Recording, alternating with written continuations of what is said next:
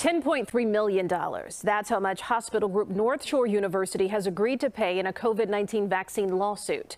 More than a dozen healthcare workers sued the Evanston based group after they were denied religious exemptions for vaccinations. I want to point you to find a pastor, if you do not already have one, that could potentially uh, write you a religious vaccination. I've done that for several of our members. And she said, I could lose my job if I don't get the vaccination? Should I stick to what I believe or do I just go ahead and do what the government says and just go ahead and get the, the shot? I would also recommend to find a good lawyer. In a major class action lawsuit in U.S. military forces will no longer be required to get the COVID 19 vaccine. The mandate was eliminated under the National Defense Authorization Act passed by Congress and signed into law last Friday by President Biden. The change comes following bitter debate in Congress and a major class action lawsuit in the federal courts.